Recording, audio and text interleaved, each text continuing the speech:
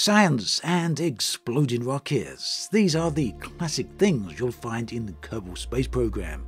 But on a fundamental level, the game is also about exploration.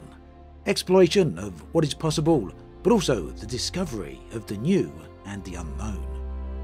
Kerbal Space Program 2 then introduces an entirely new depth to what is possible with the planets balancing the scientifically possible with the unusual or strange. This is a key concept for planets in the outer reaches of Kerbal Space Program. The developers are keen for players to be able to discover and experience vistas that are alien or unique, yet in true KSP fashion, these planets will be scientifically accurate. It means that no matter how strange a world may look within KSP 2, when you land there, you'll know that somewhere out there in the universe a world exists, perhaps very much like it. Now, when Kerbal Space Program 2 launches into early access on the 24th of February, it will begin a little closer to home, somewhat away from these strange and alien worlds. It will feature the entirety of the Kerbola star system. This is the star system that exists within KSP-1. Yet we shouldn't expect the new Kerbola to be a complete clone of the first one. For starters, the planetary tech has been improved and everything will have been rebuilt to be much improved.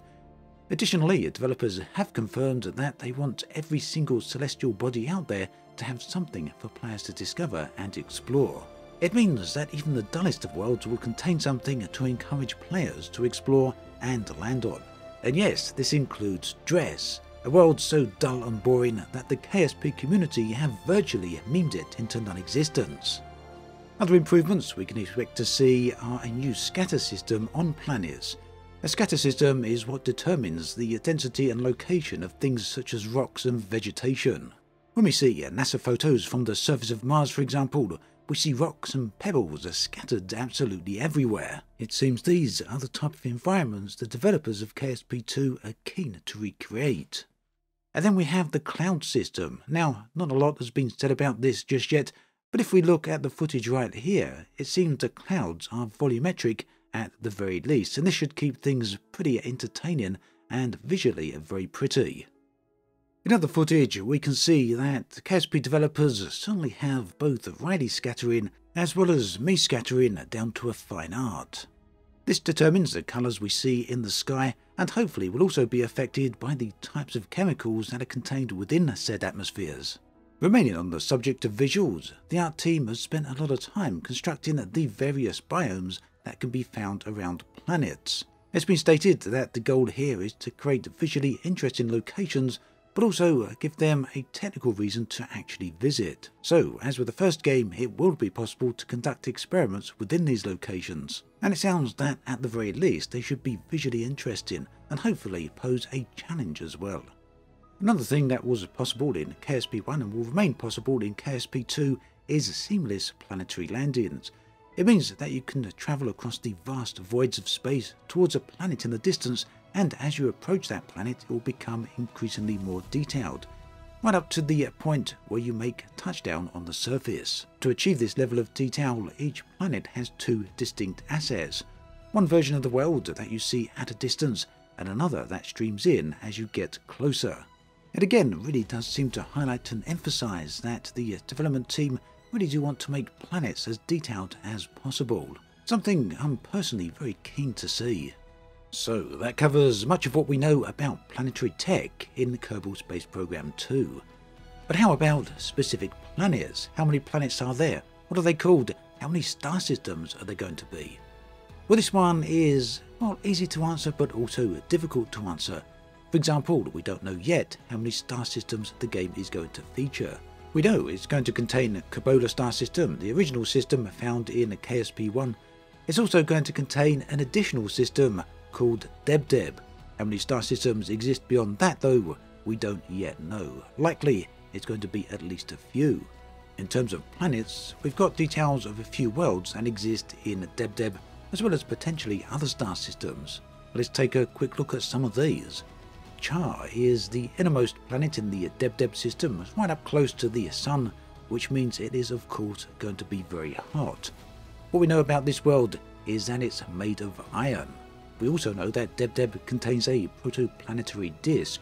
It's one of the many signs within Deb that tells us this is a very young star system still in early formation. In fact, we come back to this point with the world called Gurdamma. This is a proto-Earth like world, or perhaps it'd be more accurate to say a proto-Kerbin world. Footage so far has shown that this planet does contain water. Gurdamma is somewhat inspired by Earth of 4.5 billion years ago, so in very early times, a very uh, young age here. Gurdamma has recently undergone a collision with another planetoid, which has resulted in the creation of a moon which orbits this world. The moon, additionally, is also being coalesced from Gurdamma's planetary ring, so quite a unique uh, planet here. Very young Earth-like world that also happens to have a planetary ring and also a very young moon. The name of the moon, funnily enough, is called Donk. It's a great name, although other than that, we know very little about the moon. Elsewhere in the Deb Deb system, we've got the planet Glumo. Now, this is a planet that's inspired very heavily by Saturn, a Saturn analogue. I actually think this one is a gorgeous looking world. It's got a ring, and orbiting around the world is a moon called Merbel. This moon appears to be an icy world, and it may well be melting, turning slowly to vast oceans. We've perhaps seen this planet more than many others, as it's the planet that's featured in the original announcement cinematic. You can see some footage of that on the screen right here. So that's most of the worlds we know about in Deb Deb. However, the Dev Diaries have touched on other worlds over the time. One of these is called Ovin, and this is a large rocky planet with rings. We've also got Rask and Rusk. Now this one looks especially interesting to me. It's not clear which star system these are in. It could be in Deb Deb, but I don't think that has been confirmed one way or the other just yet. Now these worlds, as you can see, are very hot and they are locked together, both going around each other and neither has yet become the dominating body, meaning that neither as yet are a moon. It's clear that both of these planets have very hot surfaces and likely, very possible in fact, that this heat is called, caused by tidal forces. However, again, not something that's been confirmed, merely speculation, but seems very likely. Now, these two worlds are going to be interesting to navigate around, specifically due to the gravitational challenges that two such worlds close together would cause. So landing here, orbiting here, should certainly be fun indeed. So that's what we know currently about the planets in the Kerbal Space Program 2. It's shaping up to be a beautiful looking game with some impressive mechanics behind it. Do let me know in the comments section below which planets you are looking forward to visiting also, let me know if I've missed any planets. There's a whole ton of information to go through, so very likely I might have missed something there. Again, let me know. As always, thanks for watching, and I'll catch you guys and girls next time.